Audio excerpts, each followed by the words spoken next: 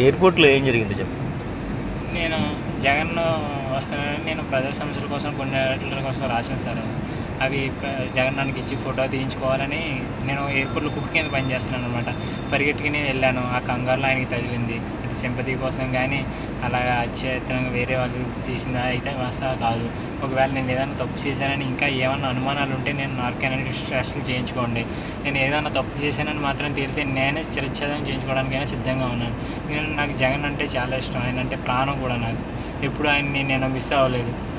ఇప్పుడు ప్రతి సంవత్సరం ఆయన కోసం ఫ్లెక్సీలు పెట్టడం ఇవన్నీ పెట్టడం అంటే చేస్తాను. ఇంకా ఫ్లెక్సీలు పెట్టడం జగన్ అన్న